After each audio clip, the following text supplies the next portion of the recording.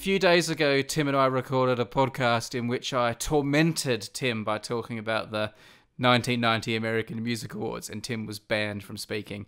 That episode has not yet been broadcast, but in anticipation of the reaction and possible legal action or intervention by the European Union or something, uh, I've decided, even by my standards, that was a bit too cruel. And we're making a special little mini episode now where I'm gonna I'm gonna give Tim his voice back. I'm gonna let him off the leash, talk about these awards. Permission to speak? Permission granted. One hundred and eighty-five dollars, completely protected, sent to the girls on the condition I get a little glimpse of the stationery they buy because I really like stationery too, and I want to see what they end up buying. Yeah. Tim, you are off the leash. Off the leash. Wow, I feel liberated. It's marvelous to be able to speak, particularly about the 1990 American Music Awards. It's, I mean, it's a topic since the podcast started. It's a topic that people have been dying to hear about. Now they're getting a second episode of it. they and then, then we got 91 and 92 and 93. They've had my opinion, but now they're going to get the opinion that really matters. Well, this is true. This is true. And and I, I I don't know where to start. There's so much to say. How was it hearing me describe them? Did I do a good job? It was very fascinating. There were two things going on. One is it was enormously frustrating to have prepared and thought and to know this and then not be able to say anything. That was the torture. On the other hand, I quite enjoyed hearing you talk about it as well because it was sort of vicarious, you know? It was like, oh, he's appreciating it too. That's great.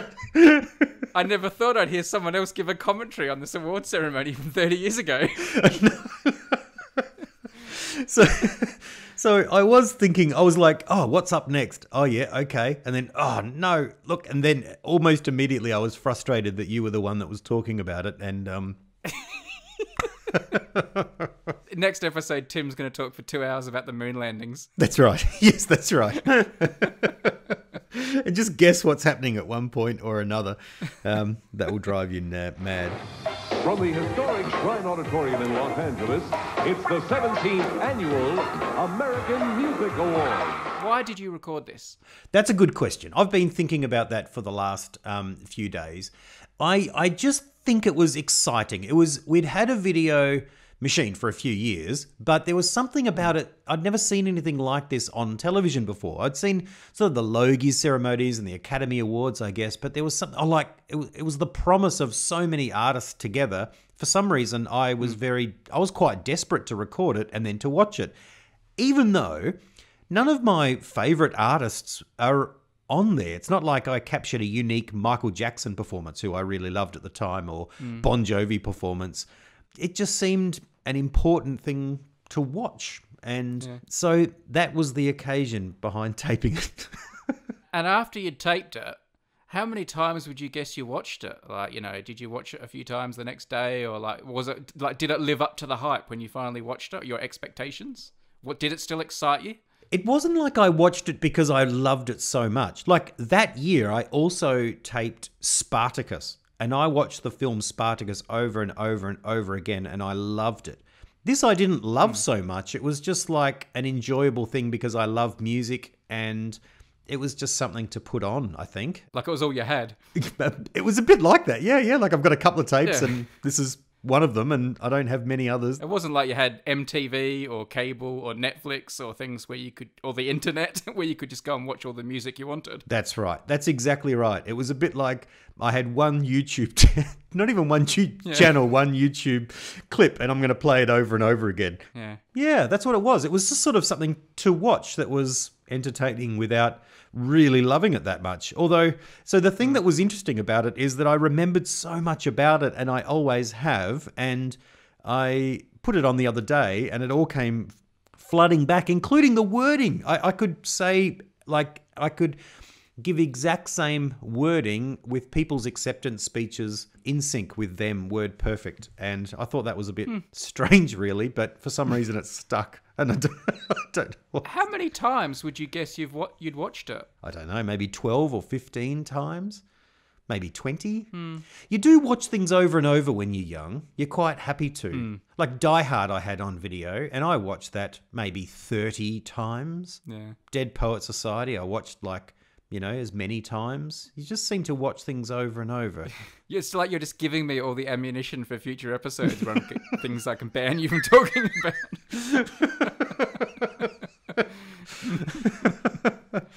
Brady does Dead Poet Society and Spartacus. Yeah. Like I remember as a kid getting the Black Stallion, the movie The Black Stallion Returns, actually, the oh. second one out of the video store, and watching it Yeah. three times in 24 hours before we took it back. That's just crazy, but you do do that when you're a kid, I think. I don't remember those films. Does the black like normally uh, uh, films about animals, the animals die? Does the black stallion die in the first film? No. No. No, so it can return. I've That's right. Right, it's not back from the dead. No, it's not. No, they just Right. the original owners of the Black Stallion come back to take it back to um, Arabia, I guess, Saudi Arabia. I I can't really remember the details. And then he goes after it, stows away on a plane, and um, The horse on its own stows away on a plane. no, no, the boy Is it one of those ones where it goes up into the wheel engine bay? he do, he goes up with the wheels in the wheel compartment. Yeah, Yeah, yeah, nice. not the horse. This is the boy. Oh right. I thought the horse stows away. Like, wow, that's a, that horse really wanted to get home. I'm just imagining the wheelbase opening and like all these wheels coming down, but from one wing there's just these legs dangling as you land, running on the runway. yeah, and someone's there. How many horsepower is those? Are those engines? it's like one horse jumps out, runs away. Oh, you, you're really wasting your, your chance to talk about the American Music Awards here, Tim. We're talking about the Black Stallion returns. Not even that. We're making up stupid alternative plots for it. Ugh, well, look. So that was my first point. I think it's eh, important to say I was intrigued by the Dick Clark invention. I didn't know that Dick Clark invented it. I know that Dick Clark is a legend of American television, you know, with I think it's Bandstand and some other shows, but mm. I've never thought much of Dick Clark in it after I heard him featured in some documentary. I can't remember. Maybe it was even Michael Moore's documentary where they featured him and apparently his slogan, like his famous brand slogan, which is music is the soundtrack of our lives. And I remember thinking, well, that's the most bleeding obvious statement. Like that like music is the soundtrack of our lives. And he's got that on Yeah. the side of restaurants and the side of his, you know, brand name and his car and everything. But that's, that's just like saying What else could be the soundtrack that's of our right. lives It's like music? Like, words are the book of our life. Like it's the yeah, words are the words of our lives. It's like, like air is the oxygen of our lives. It's like, yeah, it is. Yeah. It's like, thanks, champ. Like Earth is the planet of our lives. it is.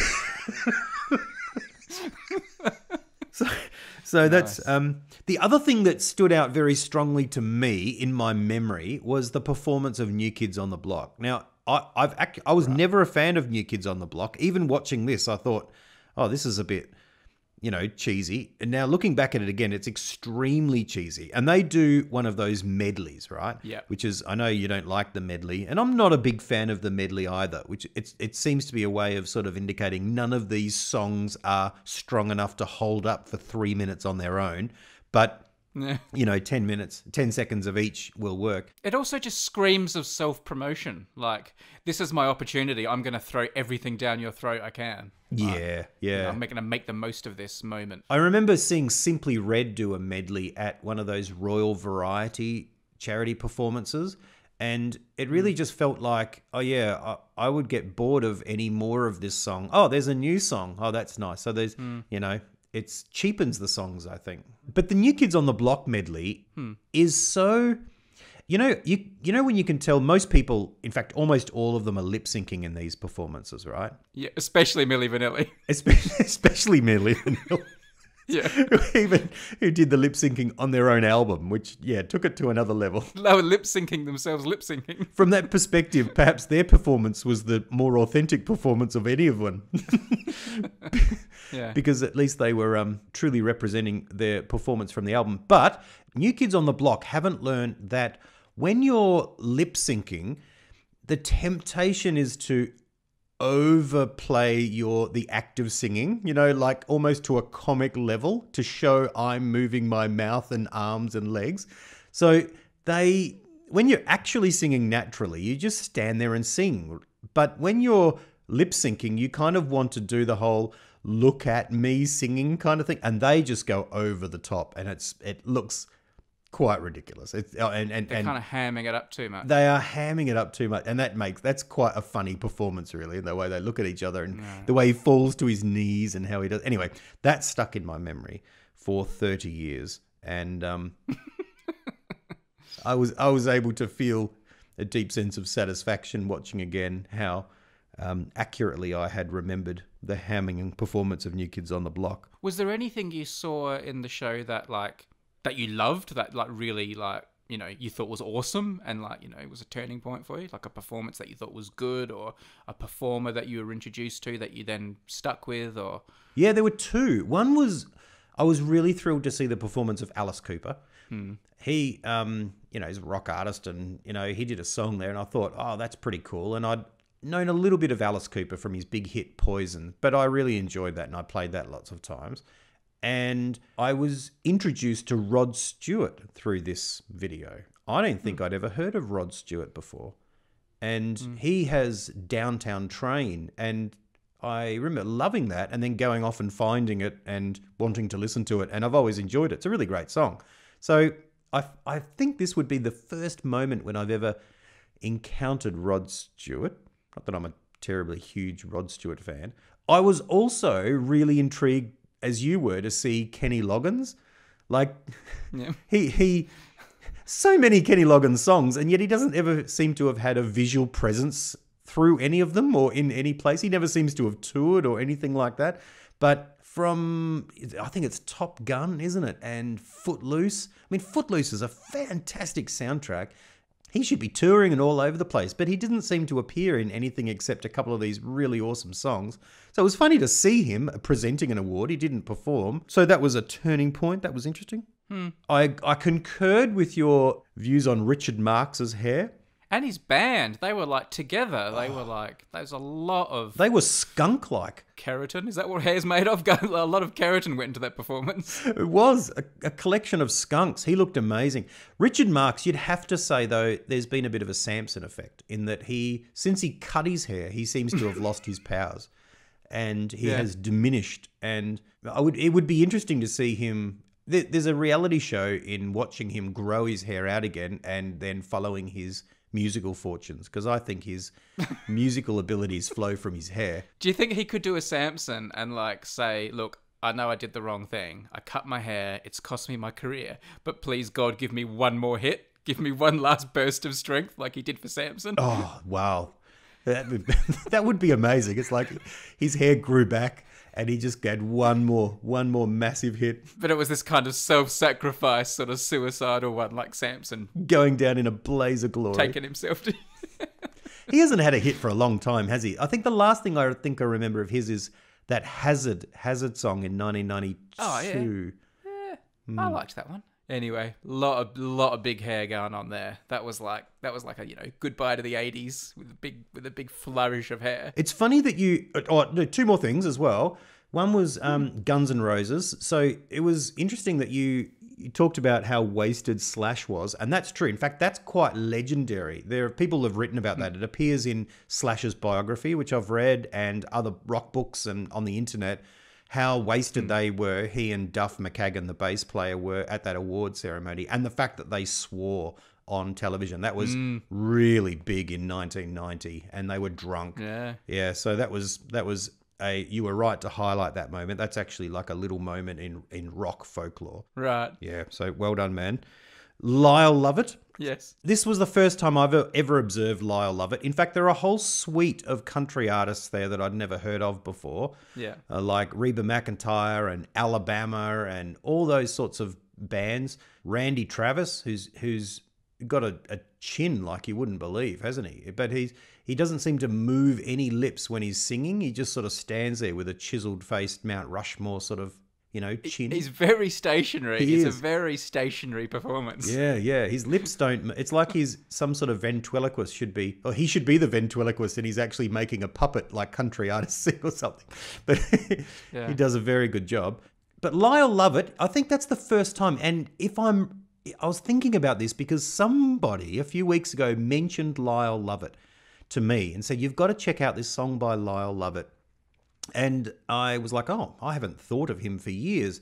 And I wonder if that's the subconscious seed that made me remember the music awards and go looking. It wasn't conscious, but I wonder if that's what triggered it because there was ah. some sort. So that could be the root of what's going on here the Lyle Lovett factor. It is extraordinary that he was married to Julia Roberts. Like, I know looks aren't everything, but that is like such an unlikely pairing. It was after the awards by the looks of it. It looks like they like eloped and got married in '93 after like a three week romance. So it was like years after these music awards, but uh, and they divorced after less than two years. Uh, So it sounds like Julia Roberts was like me, sitting at home watching the music awards, seeing Lyle Lovett, and um, well, and wanting to marry him. That wasn't my response, but but she's gone. this is after Pretty Woman too. She was pretty huge at Pretty Woman around this time as well. So oh, she was. It was massive. It was a massive story when it happened. ah. So speaking of seeing people in the awards and wanting to marry them, were there any like you know, were there any performers that you looked at and thought, oh, you know, got like you know, celebrity crushes or anything? I don't reckon there were. There's no one I really loved. Like Peter, uh, Paula Abdul. I was never a really big fan. of Peter Abdul. Peter Abdul. Her brother. That's right. Um, I I was not a big fan of her. I thought she had a good song, but you know, like, not really. Janet Jackson. I like Janet Jackson, but I don't really remember her in this. It wasn't. I became a huge Janet Jackson fan later on after this with the album uh, Rhythm Nation. I seem to recall that. Yeah, I recall that. I always I was always intrigued by the Judds. Do you remember seeing the Judds, which are a mother and daughter, Naomi and Wynonna Judd, country Right. act? And I always thought like a, a mother and daughter, like a two generations together as a pairing, like that's pretty rare. And I thought that was quite interesting. Yeah. Yeah, you don't get that much. Like if you had Roxette, but one of them was like you know the mum of the other one, like that would that would be quite unu- unusual.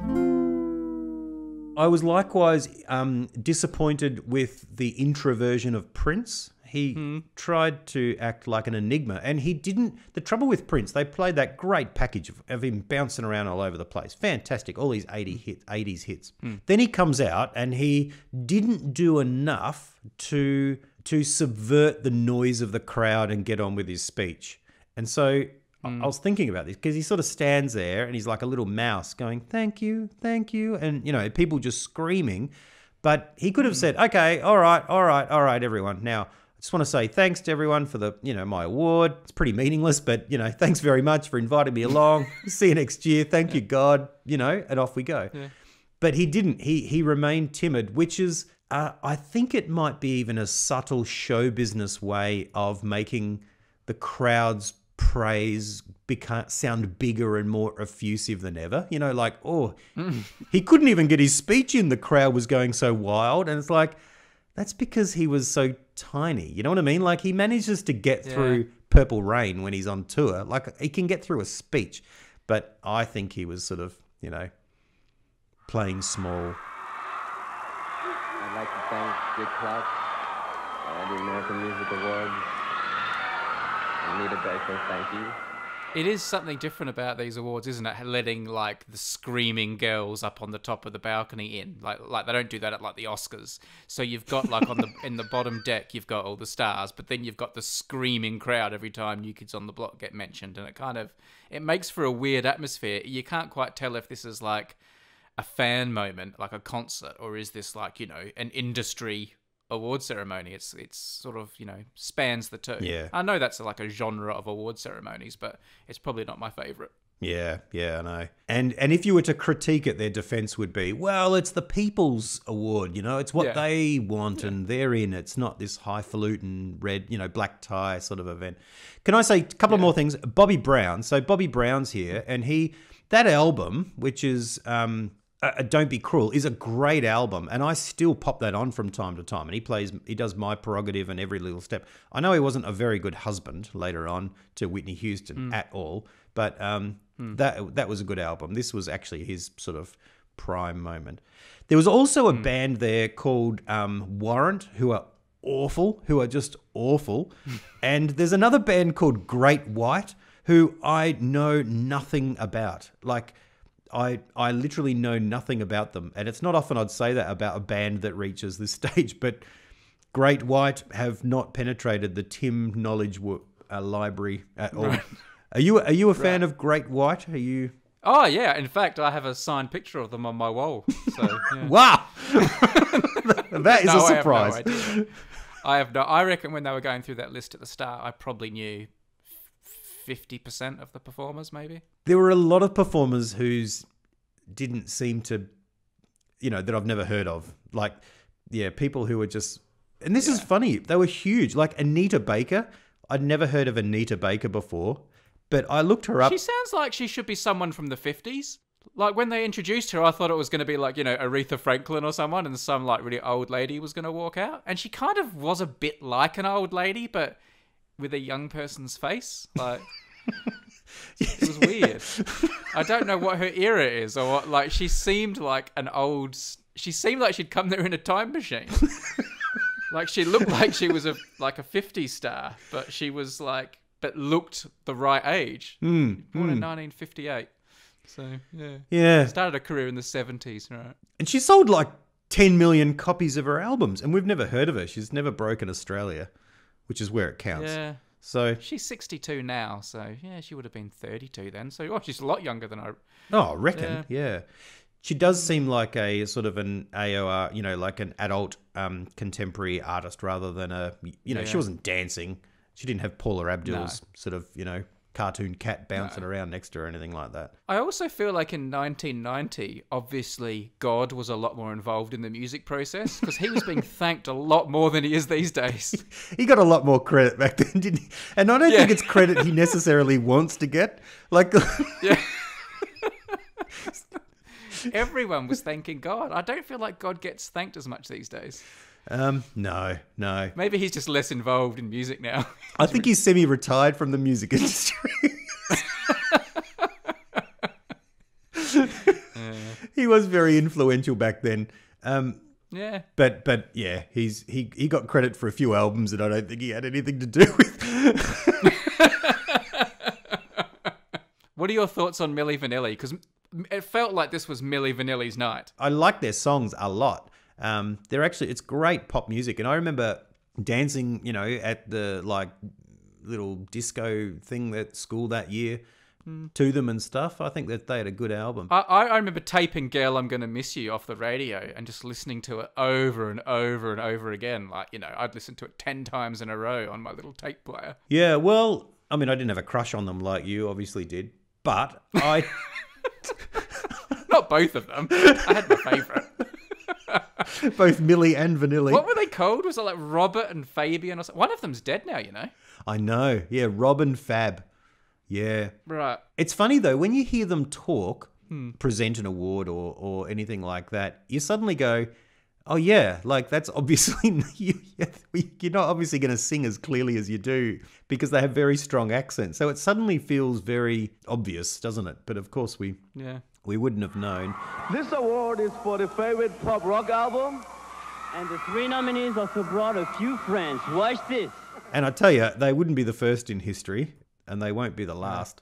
But there's an enormous amount of, um, you know, dodgy performances and all that sort of stuff go on. But of course, a lot of it is legitimate now because of auto tunes. The way you can manipulate someone's voice is is If a huge producer came up to you and I and said, "Look, we really like the Unmade podcast, and we want you guys to be like megastars, but you're not good enough singers, and mm. Tim's guitar work clearly isn't up to scratch."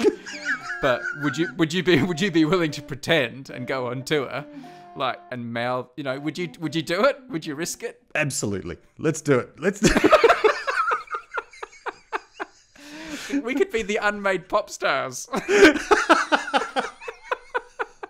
Hein Haran, Haran and Hein. oh, who's your favorite, Tim or Brady? I like the one that pretends to play guitar. Oh yeah, that's Tim. well, I like the dancer. That's the.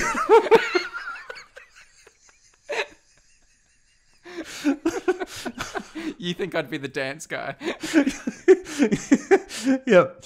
I'll tell you, one thing we should take from Milli Vanilli, they seem to wear berets, and I reckon we'd suit a couple of berets. We should, we should Yeah. definitely, yeah, yeah. Some lovely flat caps. Oh, I've got two flat caps. I haven't got a beret, but I've got two flat caps in my house. I've got a flat cap. We're, we're, we're halfway there. Isn't a beret just a flat cap turned around the other way? Or What would we be called? Would we be Brilly Tanilli? Brilly Timmy? Timmy, Timmy Br- Br-. Brilly Tanilli. Brilli Timilli. Brilli Timilli. All right, that's We might need to workshop that a little bit. Oh, hang on a sec. Here we go. The real Milli Vanilli's official website. Oh, that's the real Milli Vanilli. This is the people who did the singing, who came out with another album afterwards, as if we somehow wanted to hear them without the cool dudes at the yeah. front. Like, well, Who cares? You know, This is a I'm all about Rob and Fab. this is a cool looking '90s website, though. That's for sure. It's got it's got total. It's um seems to be preserved in. Uh, We should ask the the real Milli Vanilli if they're willing to do it again and be like the singers for us, the unmade pop stars. what you reckon we make the music, but we not be the image? Is that what you're saying? We ask them to No, they make our music. They make the music, and we'll, we'll mouth it. So they'll do it again, like the second time. They'll be like, Oh man. "Who would be the front man of the unmade pop stars?" Oh, I think that's I think that's pretty obvious. I mean, I would probably Be me, wouldn't it? just because I'm the Brian Wilson with the musical genius does, doesn't mean that I. The Brian Wilson, are you? yeah, yeah. I'm the, I'm the one slaving at a at a keyboard and a desk for for, for weeks putting it all together. I feel That's like I'm the Brian Wilson. oh, that's true. You are the Brian Wilson. I'm I'm I'm really here. I'm just I'm just here for my looks, which is saying a lot, seeing it's a podcast.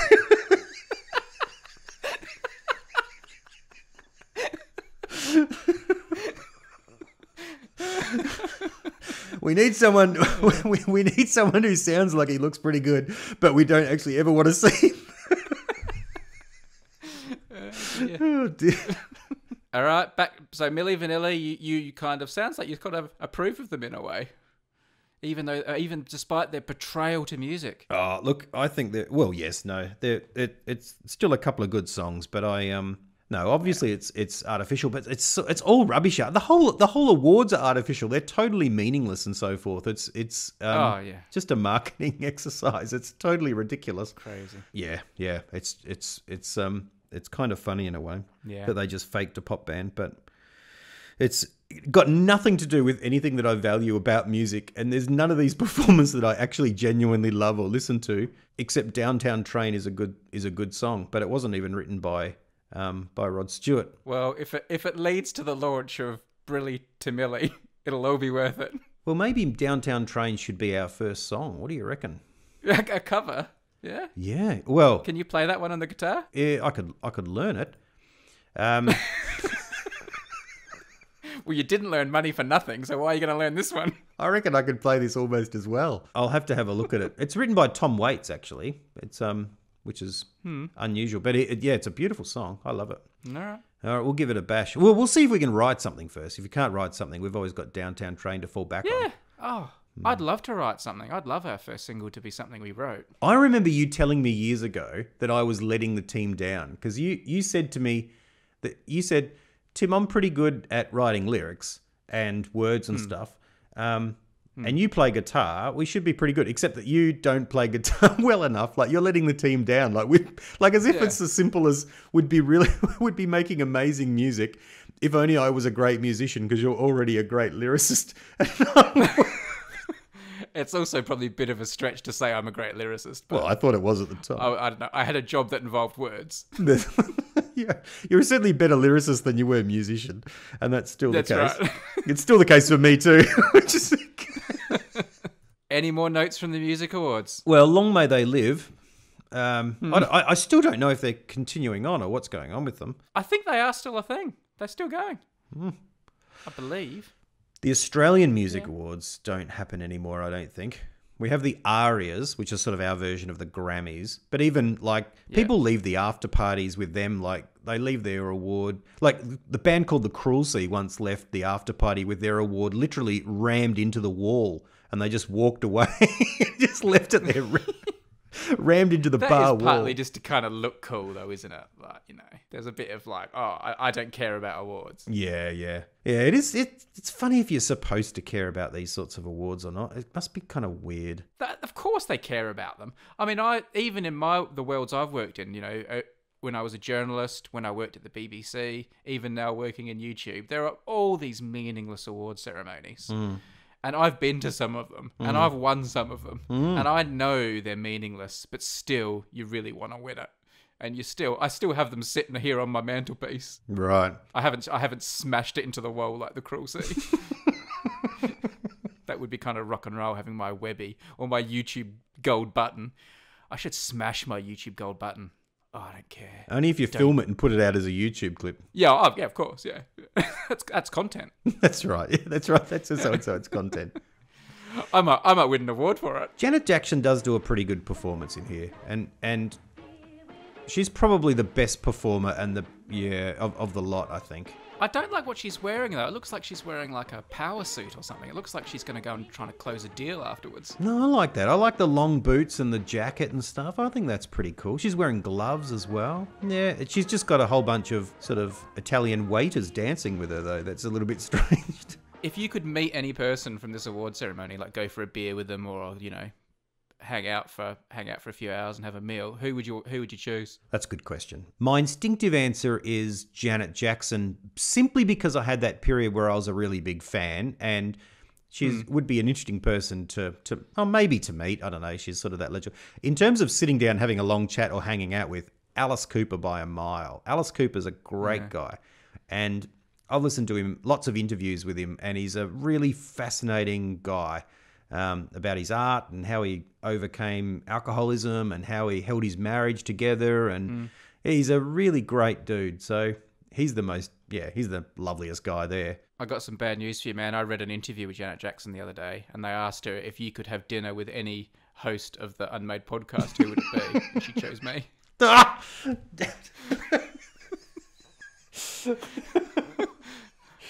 I like I like the lyrics guy. Oh, well, that's a shame. That is She a shame. did, she did say she wanted to sample your guitar riff though. Did she? Did she and use it? Can I can I ask if you were to meet with one of the new kids on the block, which one would you meet? Firstly, can you name them all? Yeah, I reckon I, that's a good one. All right, I'm going to try and name them all. Jordan and John. They were the brothers. The- Uh, they're the Knights. It was Knight. Yep. Jordan and John Knight. Danny Wood. Donnie Wahlberg. Yep. Joe McIntyre. Yeah, well done. I did it. I named them. Very well That done. is pathetic. Only a true fan would name them. my uh, my sister used to get like the actual New Kids on the Block like fan magazine and had posters of them and would listen like you know I was pretty au fait with uh, New Kids on the Block. After we talked the other night, I have to admit I looked them up on YouTube, um, and they're they're bouncing around, dancing like they're touring again, and um, but they're like older than us, right? So it's a it, it's Oh, like oh, thanks, man. You say that like it's oh, it's, it's a wonder they can walk. They're older than us. well And look at us. well we're no longer touring, so No. I think we're maybe we're due for a comeback tour though. do, do you reckon a reunion? wow, Yeah. Wow. Which new kid? What's the singular of new kids on the block? Which new kid on the block would you want to meet? Which one would I want to meet? I know who you're gonna say. Oh well, I don't even know who I want to say. Okay, I don't. I don't want to meet Danny. Um, It'd be Donny for you, surely. you reckon Donnie Wahlberg? Yeah. Yeah. I, I at least guess. he's brothers with Mark Wahlberg. Marky Mark. Marky Mark had a great song, that Good Vibration song. That was a good song. John, John, I think went into real estate, which suits him more than being in a boy band. That's for sure. Maybe that's why he wasn't there for that first award when they say, "Oh, we don't know where John is." Maybe he was closing a deal. Or something. he was doing a viewing. John uh, took a little more time getting ready for the, uh, I guess, performance. So uh, He'll be here. He's still in the group. No rumors. At the back on his mobile. It's got two bedrooms, one bathroom. Got- oh dear. They were the first of a whole stream of boy bands, weren't they? Yeah, yeah. So, did you go on to watch more American Music Awards? Like, did it become an annual thing for you, or like, what's your awa- what's your awards ceremony viewing regime like these days? Even I never saw another American Music Awards that I can remember. I have watched the Grammys from time to time, but not for 10 years at least. I think because they don't even show them in Australia. It's a bit like if it's on and it's, you know, late at night, you might like watch a bit of it. But um, I, I did also, the next, the next music awards that I taped, I videoed, was the 1992 um, Australian Music Awards. Ladies and gentlemen, please welcome live on stage at Dreamworld, Australia's own girlfriend. And that's probably for another episode. thanks, man. in, in case there was any chance people were going to listen to us again, you've completely ruined it now. that's but that's for the next episode. It makes perfect sense that having dealt with 1990 American Music Awards, we'd suddenly jump to 1992 in Australia. Like it's, it's the next in the sequence. That's what I love about the Unmade podcast. It's so unpredictable. You never know what music awards they're going to discuss next. But Bon Jovi guest on guested on them, and, and Jon Bon Jovi guest hosted it. So, um, but I won't, I won't give too much away there. But I did tape that one and watch that many times in 1992. I don't watch award shows anymore. I guess I put the Oscars on and watch the latter part of the Oscars, but because you often see it during the day, it loses its fizz, and I just go to sleep. I watched the Brownlow Medal, which is the Australian footballer's best and fairest player. West Coast Eagles versus the Sydney Swans. Sydney Swans, W. Capper, one vote. West Coast Eagles, R. Glendinning, two votes. Sydney Swans, G. Williams, three votes. This is a this is a vote counting night where they count the votes to decide who the best Australian rules footballer of the year is. And it's famously very tedious because they go through every game and say who got how many votes. Richmond versus Footscray. Richmond, J. Manton, one vote. Footscray, P. Foster, two votes. Footscray, A. McGuinness, three votes. So McGuinness starting to move now. Collingwood versus Fitzroy. That's right, yeah.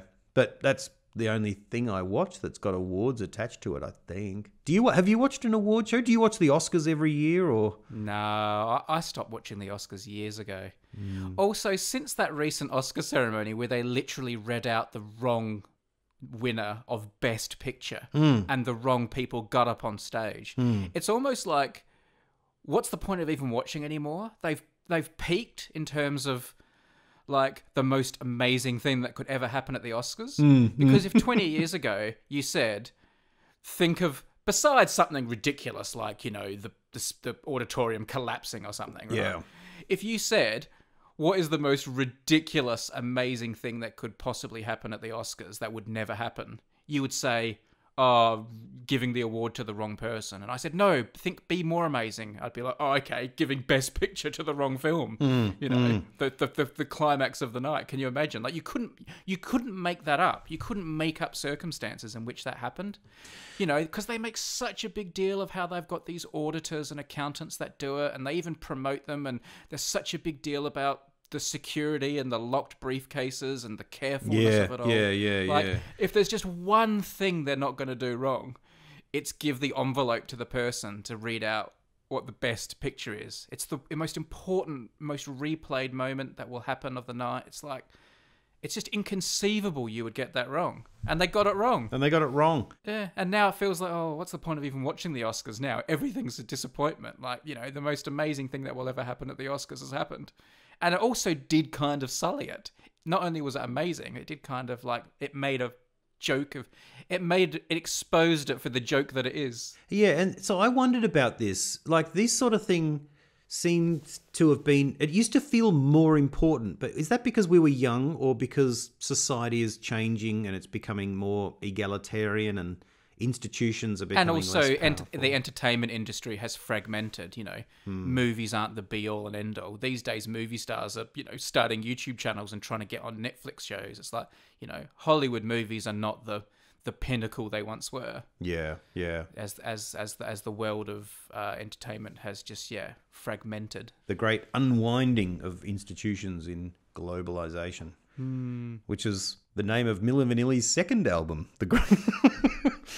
no Brilli Timilli brilly it'll be Brilli Timilli Brilly to album. Millie is a, it's the worst name in the world since Scritti Politti. do you like unmade pop stars better Unmade Pop Stars is a good name. Yeah, yeah. yeah Best left unmade, I think. So all right any more notes anymore I think I've got. I mean, apart from actually going through it in real time with sort of a director's, you know, voiceover, which is would be tempting, um, tempting for people to watch. I mean, me doing. I um, I don't think I've got much more to say. I mean, I'm I'm totally up for that as a, for a future project, w- watching it and commentating it in real time. In That would real time. Yeah, The the fashion is fantastic. That's one thing. And I tell you, the the new kids on the block have got have have loud and large jackets. There's no two ways about it. They have large, loud jackets. I also like the way in their speeches the New Kids on the Block talk about talk about themselves like they were like you know street kids that you know grew up starving in a cardboard box, just desperate to make music, and now it's like they've finally made it. Like they they really portray themselves as like real real battlers, don't they? Like I'm Yeah. sure they're all. I'm sure all their parents are millionaires, and they were like, Oh, there's Michael Bolton. Oh, I'd forgotten that. Oh, got a glimpse of Michael Bolton. Ladies and gentlemen, recording star Jody Watley and singer-songwriter Michael Bolton. We're here to present two new artists. Michael Bolton was there, yeah. Well, there you go. Champion, legend. Still with his long hair, hasn't he? Indeed, the Samson effect hadn't come into effect for him either at that stage. He was at full power. He at was. full power. Oh, Yeah. unbelievable! Yeah, he. Yeah, no, that's true. That, that the new kids on the block, you know, from our days back in Boston, and you know, when they say, um, Yeah. not bad for a couple of kids from, you know, a few kids from Dorchester. Oh, man.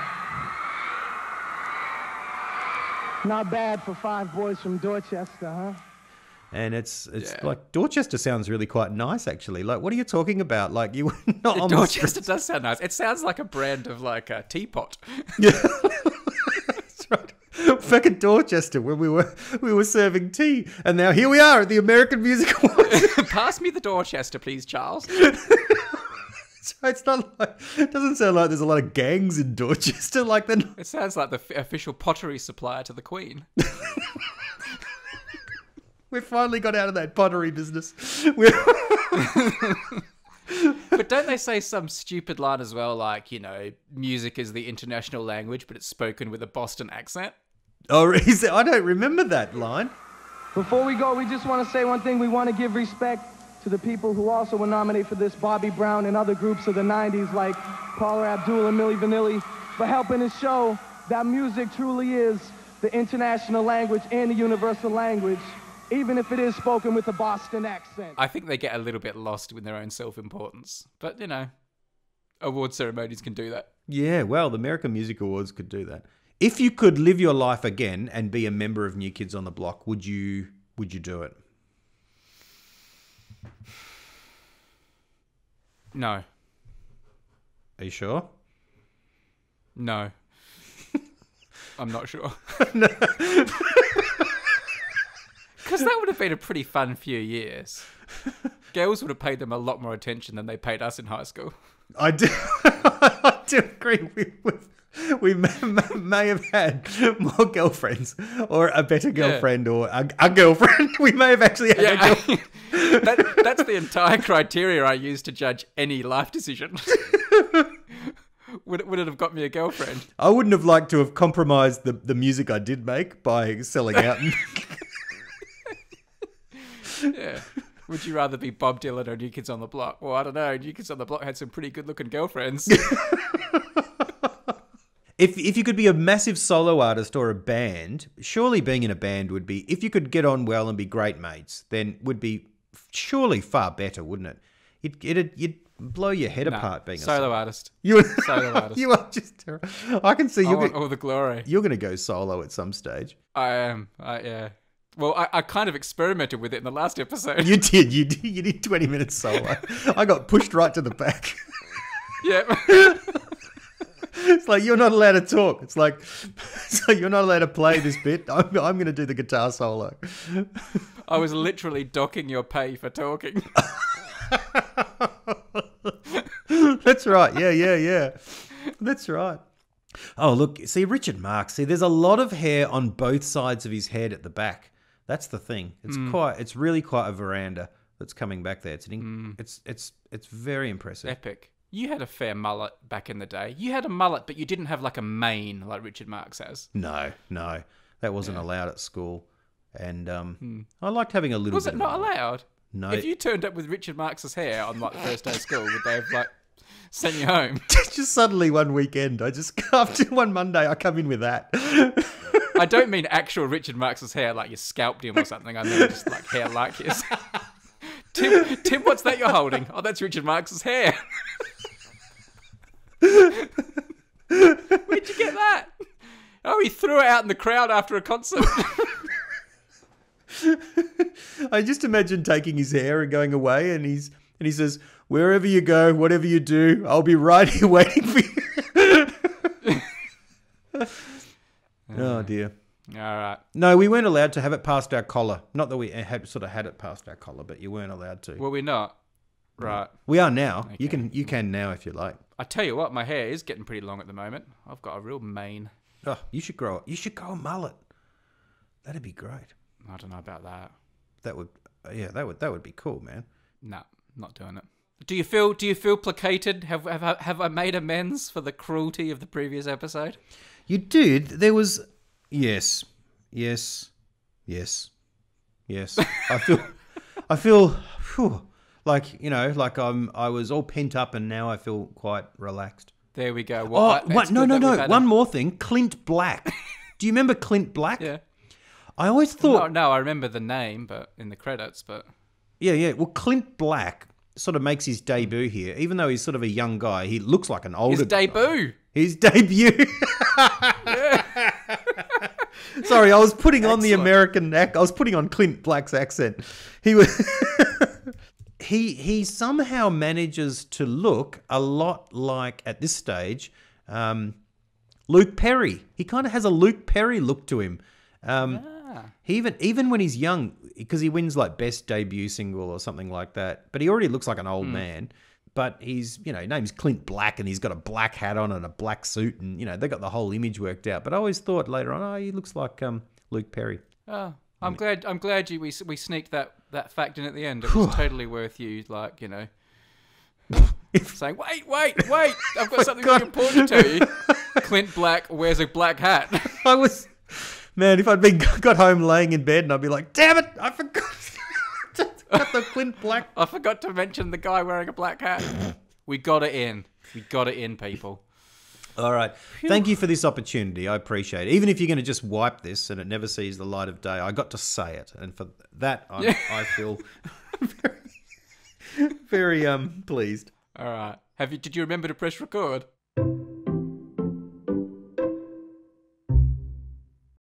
This is the last round, round 22. Carlton versus North Melbourne. Carlton, S. Kernahan, one vote. North Melbourne, P. Krakouer, two votes. North Melbourne, J. Krakouer, three votes. Footscray versus Melbourne.